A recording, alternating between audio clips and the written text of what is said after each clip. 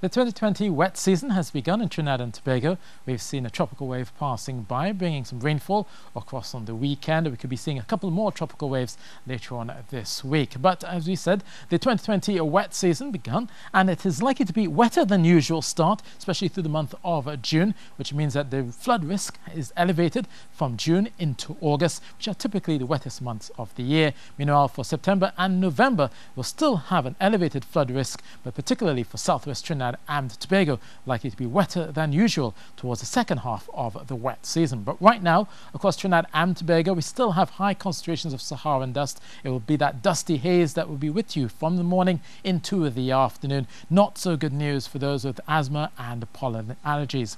Out towards central and the southern parts of Trinidad, still quite hazy for the most part. Only the low chance of a shower coming by, a few cloudy patches from time to time, but overall, you'll notice the hazy conditions continuing across across North, Central and South Trinidad as we go through your Tuesday.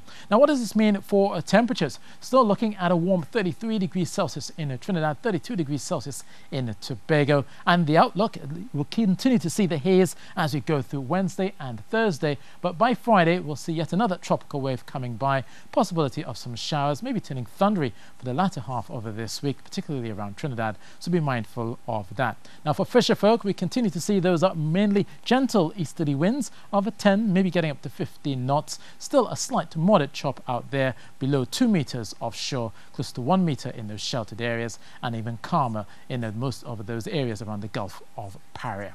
So that's your forecast, and that's from me.